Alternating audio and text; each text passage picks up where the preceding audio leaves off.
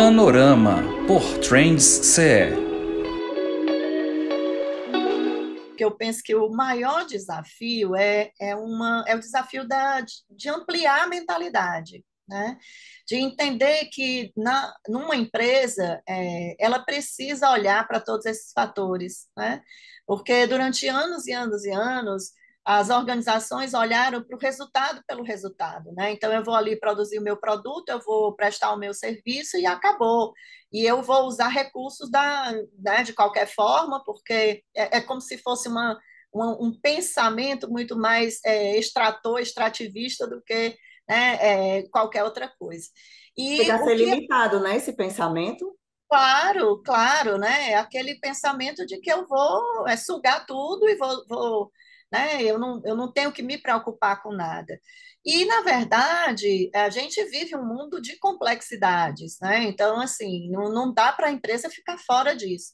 Eu penso que o maior desafio, inclusive com, com a minha estrada aqui de consultoria, né? Há 33 anos que eu atuo dentro de empresas, e desses 33, há 31 que eu atuo com consultoria. Né? Primeiro uma consultoria de gestão, é, agora uma consultoria de desenvolvimento é, integral, que aí desenvolve tanto pessoas quanto também culturas organizacionais.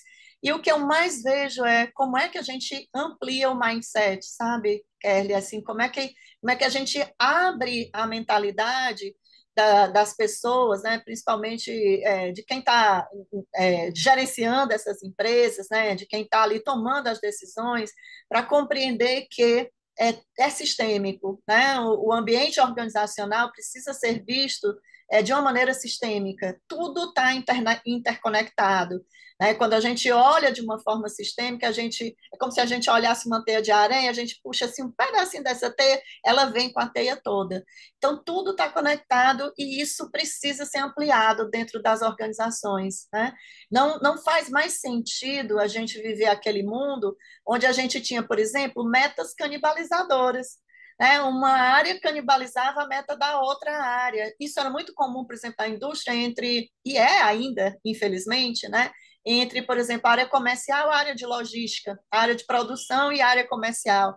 Então, a meta de um canibalizava a meta da outra. E como é que fica esse todo, né? Então, é, compreender que, que é, esses três grandes pontos, né, de de conexão ali com a sustentabilidade precisam ser vistos, sim, dentro da organização. É sim uma responsabilidade das organizações olharem para o ambiental, olharem para o social interno e o social externo, que é o seu entorno, né? e olharem para a instituição, para a governança, é, para o financeiro, para que elas consigam ter longevidade é, nos seus processos. Né?